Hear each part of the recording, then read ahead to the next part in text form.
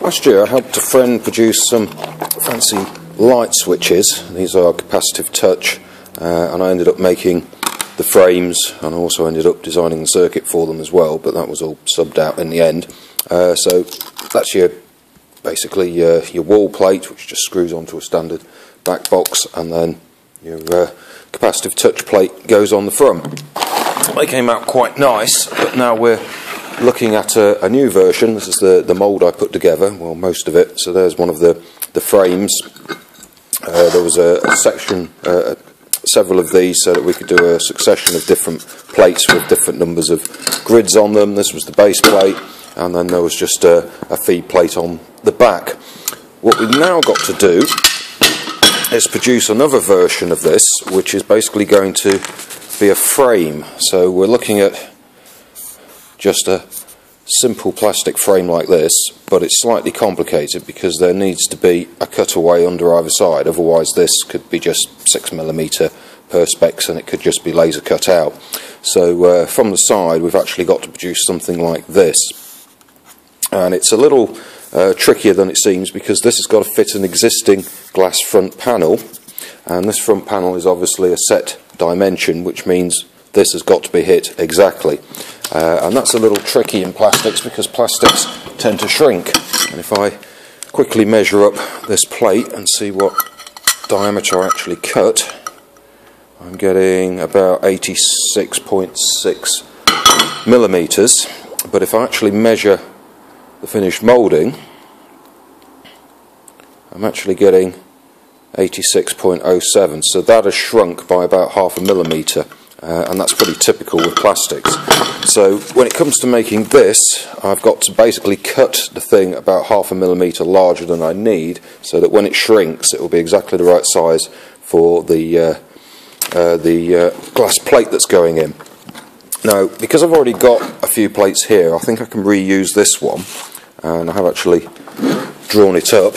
So um, I've already got some pry points here on the mould, uh, I need to, uh, I've got some points on here for magnets, but I didn't use them, so I'm going to add some more uh, just in case. And then I've got to re-drill these for the guide pins, uh, and that's a fairly straightforward one to do. The others I'm going to have to cut from fresh, and basically what I'm going to do here is start with a base plate, and then I'm going to have a slightly tapered core inside, uh, and this is so that I can get the thing off, so the actual frame is going to sit in here and then this will simply be bolted in from the back and then I'll have some guide pins standing up and a surround which goes over the top like that and just drops down onto the top and then there'll be some more guide pins standing up where this top plate will then come down on top of there. So that's the, uh, the basic idea. Uh, if I can grab my files. Uh, my sheets here, my design files. Basically, this is going to be the, the bottom sheet. So again, I'm just going to have some uh, little cutaways on the edge so I can get a screwdriver in and pry the mould apart when it when it's uh, all cooled down and contracted. Uh, we've got uh, some mounting hole points here, which are standard for the mould base that I use. A couple of 5mm holes here, which will have the uh, the pins on them, and these are simply uh, cap screws, which just happen to be the right size to act as guide pins a couple of holes from the back and that will secure this on which I need to pocket out. And obviously I need a runner on the front to get the plastic into the frame that will go around the outside. So I'm figuring I'll do this uh, in quadrants because uh, then I'm not trying to flow all the way around and get weak weld lines. Some little gates should do the job. Uh, and then the complicated part is this one because I'm going to have to come in here in sections uh, to pocket all of this inside out. So this will be the outside of the frame I'm going to need to put a few uh, little um, marks on here so that I can re-reference this because I suspect that I'm going to have to come back in and do this. Uh, I need 79.4 millimeters across the, the little vent slots and then I need 85.4 on the outside diameter. So I'm probably going to have to cut this about 85.9 but I'm going to start with it a bit small and then come in with the little purple line you can see around the edge and just open that up slightly. So uh, that's the more difficult plate and it's probably going to need some modification. And then on the inside of that I'm going to need some vents and probably some more magnets just to hold it all together. So this one's fairly straightforward. But uh, that's the one I'm going to have to worry about. But before we get to that stage, I think we'll do the base plate and this uh, centre core uh, and put those together and then take it from there. Right, first plate lined up, 5mm slot drill. Going to take the uh, 1mm deep uh, cross-shaped runner out to begin with and maybe put a well at the centre uh, and then the four gates around the edges. Uh, then I need to pocket it all out so I'm going to start with the sides, swing in with the clamps and then take the tops out and that should get the first bit done and I need to do that first because I need to be able to drop that into the surround plate to make sure it fits. I can always adjust the surround plate and that's an easier job to do rather than surround first and the core second. So let's get started.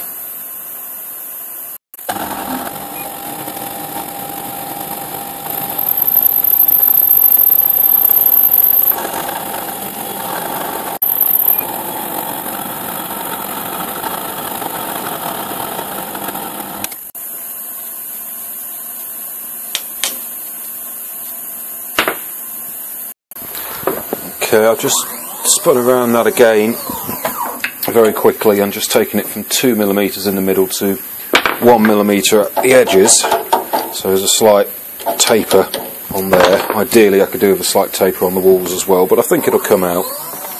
But putting that slight taper on should just give it a bit more flow from the centre outwards and make it a bit stronger when we do want to lift it out. So I'll now just put a slight spot in the centre for a, a well and then we'll do the gates around the edges.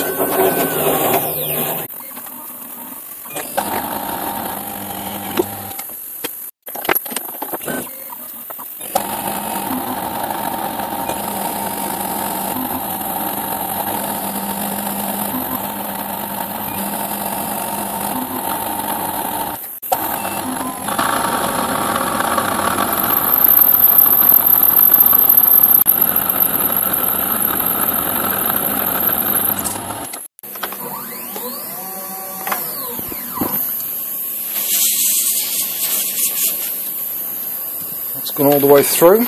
So swap the bit for a three degree taper.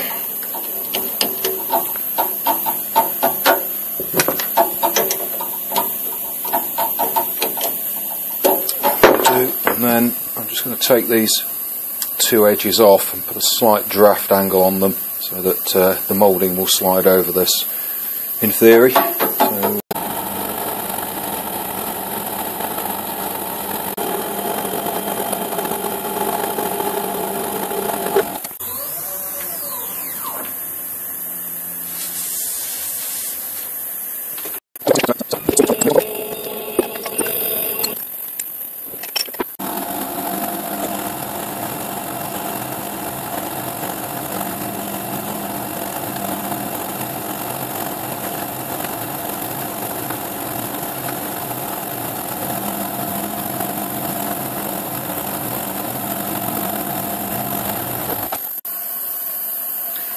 Was a very slight finishing pass with a 3 degree taper cutter.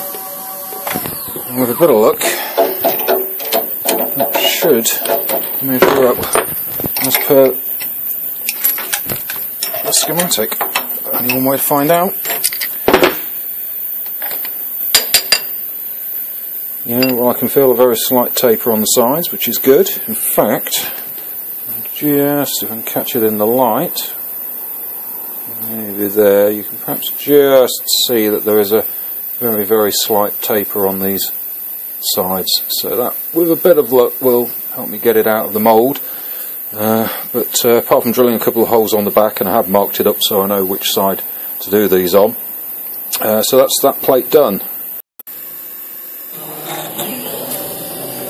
Right, this is going to be the surround plate, so obviously I need to chop the centre out. But I'm going to start off with four holes for the uh, guide pins in the corners and four sockets for uh, some little magnets which I don't always need to add, but uh, it just helps keep the plates together when the mould's closing.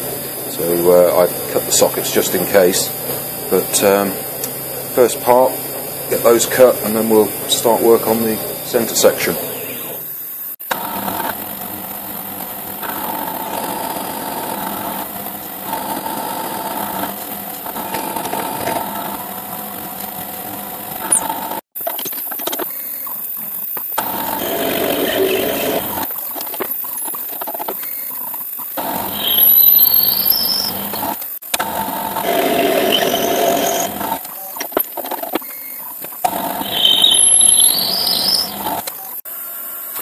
Next stage is to give myself a couple of clearance slots with a 5mm slot drill and these are going all the way through.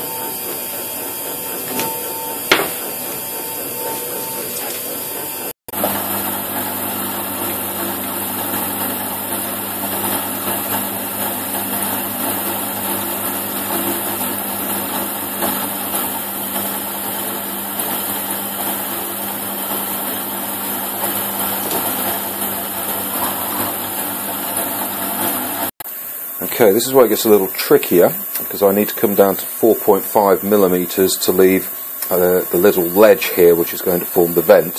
So I'm going to come in about half millimeter smaller than I need, uh, come in and hit the corner so that I don't leave a mark on, on the walls. Uh, and I've set this plate to set the, the bit to the exact surface of uh, the plate so uh, we should go exactly 4.5 millimeters deep.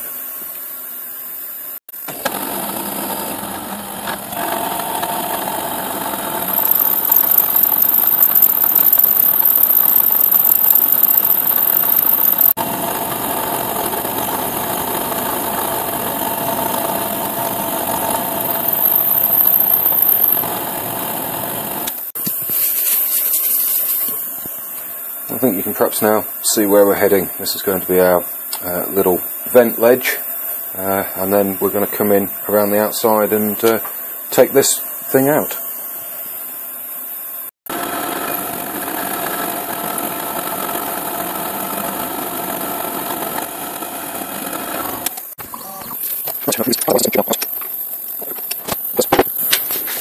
But we're not quite finished yet because hopefully you can see this ledge that I've left here. And uh, that's got to fit this. And I should have cut that a little under, quite a way under actually.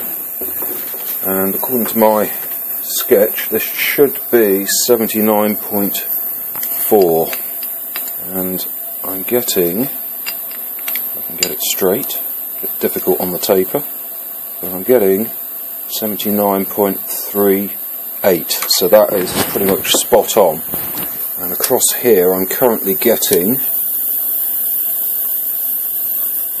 let's see 77.09 so I need to just come in and take uh, a couple of millimeters maybe one millimeter off each of these. Uh, and then we've got a pocket around that. So um, I'll figure out the numbers for this and we'll just take a couple of thin shaves off here and do another test fit.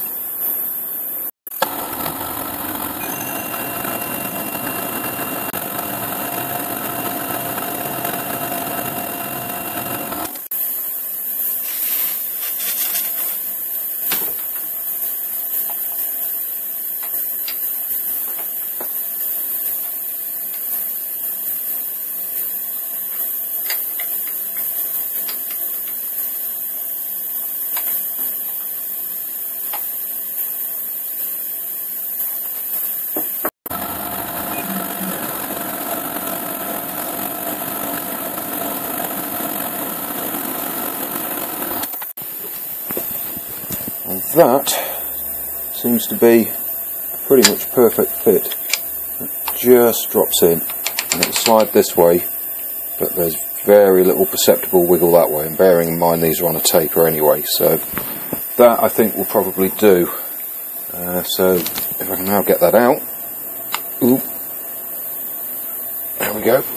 Right, so final stage is I need to just come around this edge uh, I'm going to have to come 4.5 mil down and then come in and do some 6 mil deep passes to go all the way through.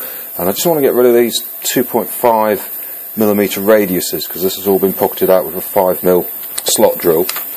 Uh, I could use uh, some of my dental burrs, which uh, I'm not sure are deep enough, but these are 1 millimeter.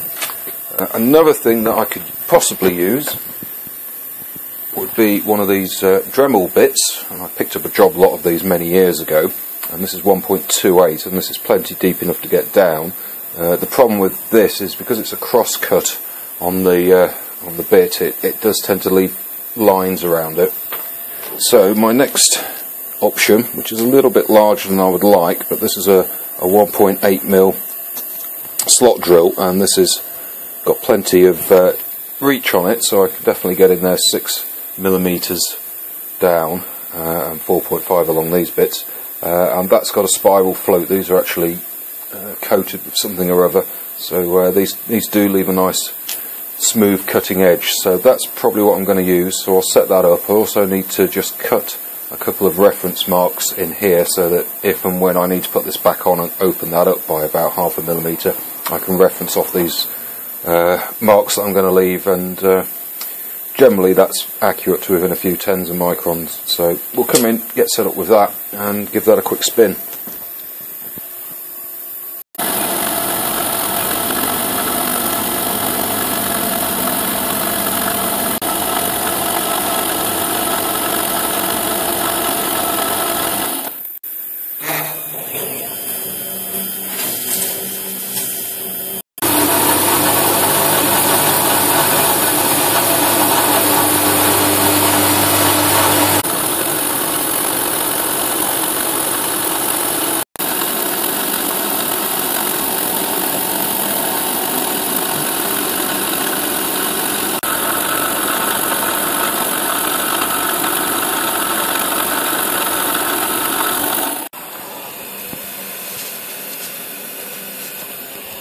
Well, that looks reasonably good. So, um, yeah, I think we can probably call that done and start put it together.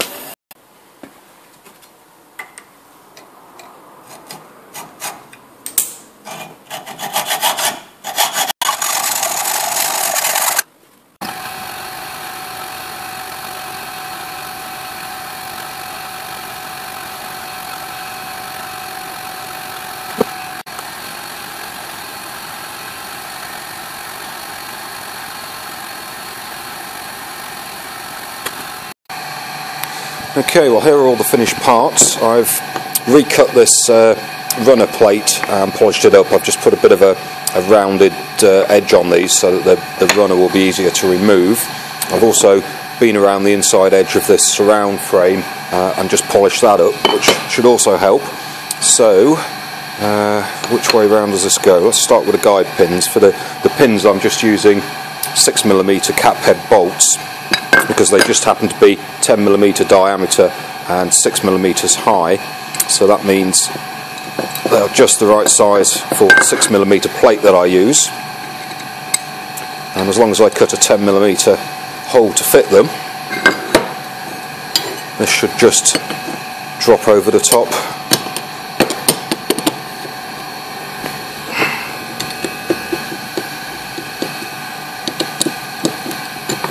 like that. So that should be a fairly tight fit, which is what we want. So that goes together like that. And then this drops in there and gets secured from the back with a couple of small 4mm bolts. So let's put that in.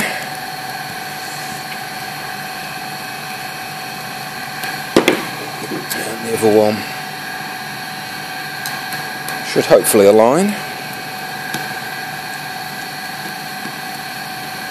It seems it does.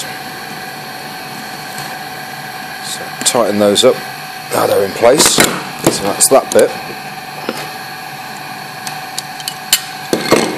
And then I need two more of my guide pins which go on the surround plate like that. And then that drops on there, creating the frame around it with a runner, and then this is our feed plate, which should, right way up, just drop on there. So that's our complete mould base. Uh, now we've just got to stick that in the moulding machine. I've got some plastic drying, going to be running some ABS on this, and we'll see if we can mould something. I've also added some uh, vents on the back, which I, I, didn't film doing because I forgot about them to be honest. And these are just 50 micron deep and a, slightly deeper channel to take the air to the outside. So without those, we're going to get air pockets at the corners and it won't fill properly. So apart from that little modification, everything is as per right there. Everything is as per the uh, original schematics. Um, with a bit of luck, that will mould. It's a little difficult to see in, but uh, here's the uh, base plate with the uh, the runner section, and that's bolted into the mould base that I use, and then that fits on top like that. And then obviously we're opening and closing the mould and squirting some plastic in through this hole here. Going to be a little awkward to video it all, but uh, I'll show you the results in a few minutes.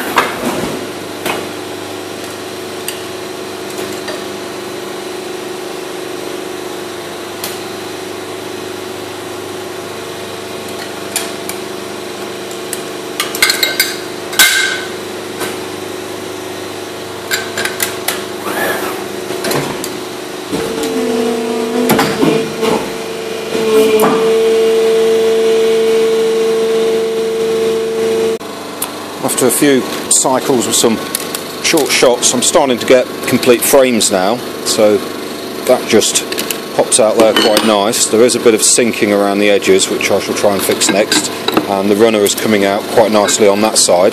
So uh, a few more minutes of dialing in the settings, and with a bit of luck, we'll start to be getting some half decent mouldings. For the record, these are the temperatures I'm running at, about 240, 250. It's ABS. Uh, have been running it a little bit hotter because there was some nylon in there beforehand.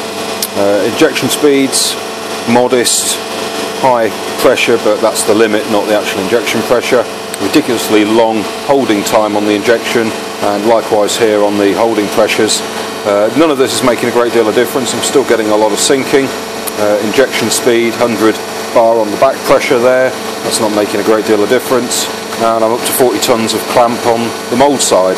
So I really don't quite know what's going on, but uh, I'm going to try a different material and just see if that makes any difference. Well, a few hours later, and all I seem to have done is moulded scrap. I'm still getting horrible sink marks showing up down the edges here, uh, which isn't fantastic. I've been trying to get rid of those, tried different ABSs, tried different master batches to see if that would make any difference, but sadly it didn't. Uh, in desperation, I decided I was going to recut the thing and uh, add some extra runners to the side of the frame so that instead of filling at a point uh, and then jetting out along these side edges, I thought if I extend the runner I can fill more consistently all around. This didn't make an enormous difference, uh, but swapping to nylon did. I was getting reasonably good edges in the nylon. Let's see if I can zoom in a little bit on that. That'll show up a little bit clearer. But uh, the problem with the nylon was I'm, I'm, getting some marking along these edges. Uh, there's still a bit of pitting here and there's quite a lot of spray down this side here uh, and again on this edge here uh, you can see a few spray marks coming through uh, and I couldn't quite get rid of that. Some of the edges were coming up clean, that one's not too bad but because this is a cosmetic finished product I really need clean edges all the way around. So in desperation I switched to using a nylon 6 uh, and this has done a much better job. I think perhaps it still needs a, a, little bit more tweaking on the settings and perhaps a bit of a polish but that edge there is pretty shiny, pretty clean. There's a little bit of flash at the corners which just shows how much pressure I'm having to dump into this thing. I think it's up to 40 tons of clamp force uh, on the, uh, the mould side and 2,200 bar on the injection side, so that translates to about 13 tons of injection pressure. Uh, but that's the only way I can get it to come up clean. Uh, I don't think these are actually the the best I can do. I think with a bit more messing around, perhaps increasing the temperature slightly, I might do slightly better than this. But um, not all materials are the same, so I think the ABS is a, a non-starter for this, sadly, and we'll just have to make the rest of them out of nylon 6. But at least it does work.